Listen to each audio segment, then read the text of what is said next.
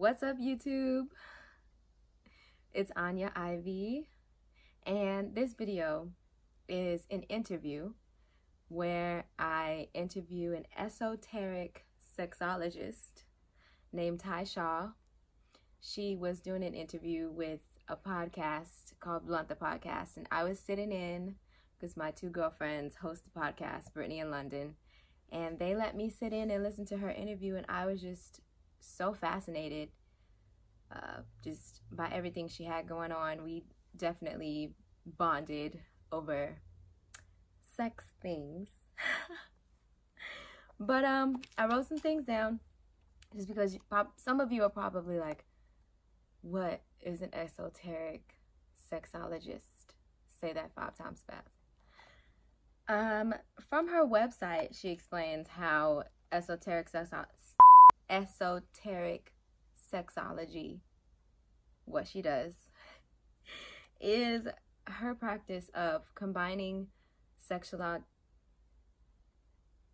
combining sexological bodywork, somatic sex education, and the sacred in a way that centers the spirit and soul.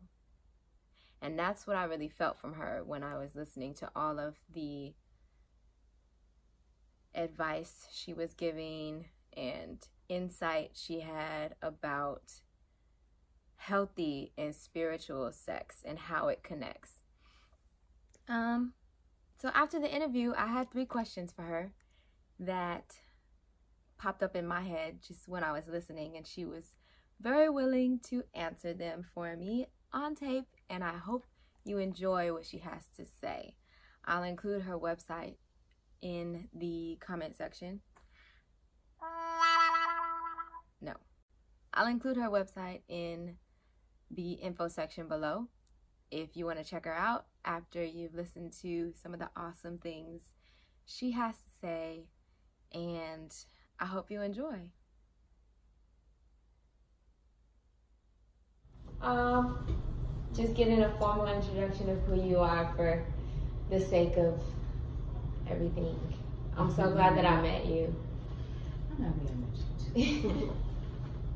I appreciate the exchange. You know, I, I love talking to black women mm-hmm. supporting black women because we out here putting in work. I mean, mm-hmm. sisters are doing everything podcasts, businesses, coaching. I mean, sisters are really out here hustling. Mm-hmm. Getting to it. There's so much to do now. Right. Who is talking about the sisters who are out here hustling? Nobody. It's crazy, and they out mm-hmm. here doing it. They working hard, putting out their brands. You know, and it's like I would love to just hear more of us celebrating just how much work you see sisters putting in right now. Yeah for their businesses, their brands, whatever it is they want to do.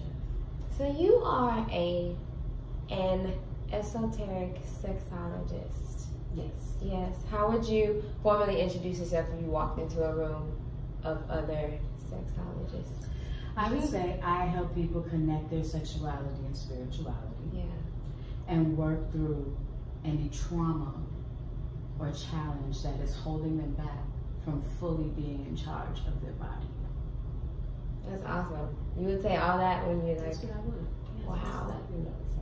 So I, that's what I do. Yeah. I love that. Okay, so my first question for you when I was listening to the podcast, I'll mm. include pieces of the podcast that I thought were just heart melting. The first question is what are this is just some something one of the questions that I was thinking of before I even met you that I felt mm-hmm. like I had to ask mm-hmm. because it was a thought in my mind. What are some of the ways that women can access getting into dom work? Oh, dom work. Okay. So first you need to get educated about the BDSM lifestyle, S&M domination and submission. You know, what maybe different kinks, maybe different fetishes, maybe, you know, what variations on what vanilla sex or what we consider kind of normal, basic whatever people call that shit. I don't know. I've been there Like so long. Don't girl, missionary. okay. I made a decision a long time ago. I was not doing no more regular fucking. I'm tired of that. You know, there had to be something else. There's so many options. I'm telling you. They Yeah. don't, they don't tell us that bullshit. They know they tell wrong you for it. anything. You're They wrong. know they wrong for it. They're so wrong. wrong. They know why. They know why. So are there like websites or just you would suggest just doing the research?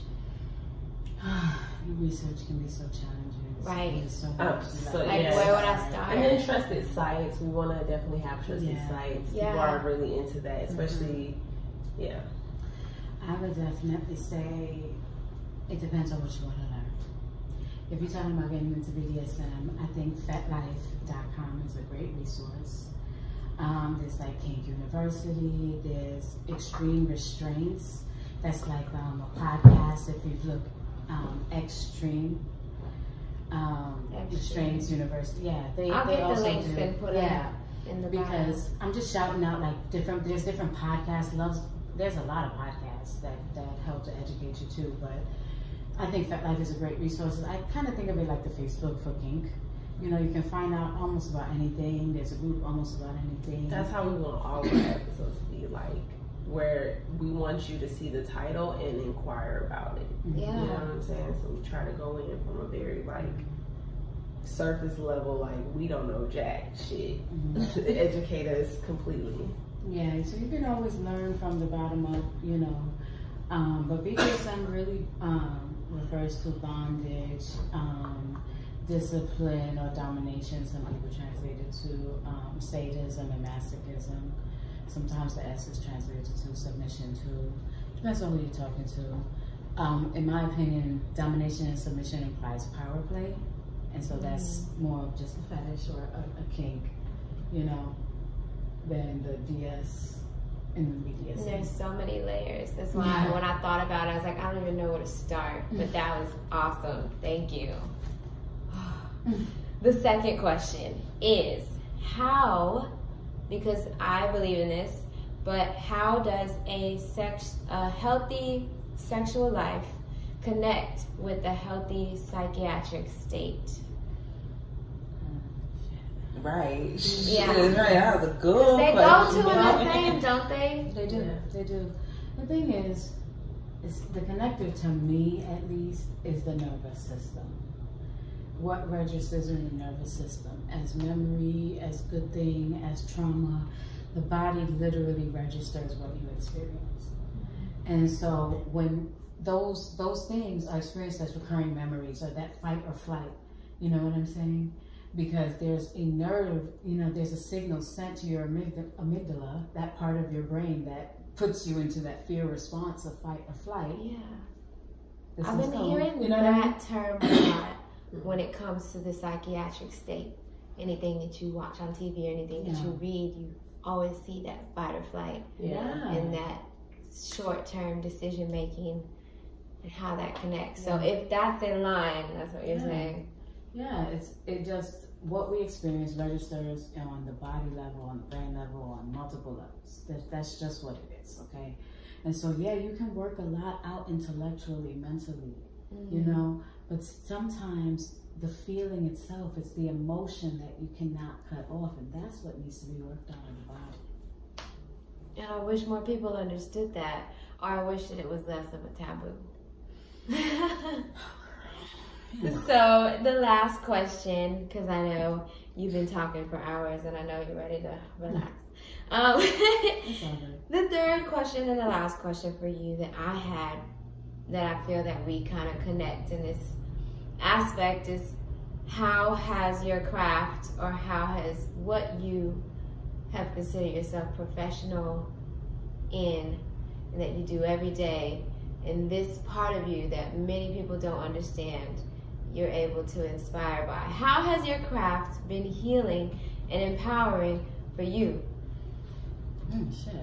Is what I want to do. Because I do exactly what I make the decision that to do. freedom Yes. yeah Yes, absolutely. I, I mean, if our freedom is empowerment, what the fuck are we doing? Like, what are we really doing out here? living I would say, I would say no. I would say surviving. Uh, surviving. I'm not the word. interested in survival. Right. I'm interested in thriving. Right. Thriving. Right. I'm interested in Right. I'm, I'm not go okay with the bare minimum. I don't. That's the bare minimum to I me. want it. I want it Mhm. all. I want to be in love. I want to be manifesting what I want. I want to be experiencing pleasure, experiencing satisfaction, experiencing abundance. And you have to pray that over yourself. We got generations of curses being prayed on our asses. Mhm. You need to constantly pray that shit over yourself. It's like get real about your protection. Get serious about what you desire. I love that. Yes. I love it. Those were good questions, Anya. Thank Right. Thank you for answering. I know that I may not have the best lighting and it may not be the best situation to record. I think Yeah. that just the message is what I want. And I'll definitely send this over to you once I've cut it up and posted it and made it look awesome. Okay, cool. yeah. I just answered the question. Yes. because the page is still new, but this is whenever you kind of create the foundation for a platform, you know what I mean? Yeah. It's like, what are you gonna be Yeah. telling people? Yeah. And I'm, all I want to hear is black women are out here getting there. Yeah. Getting to That's all I want to hear.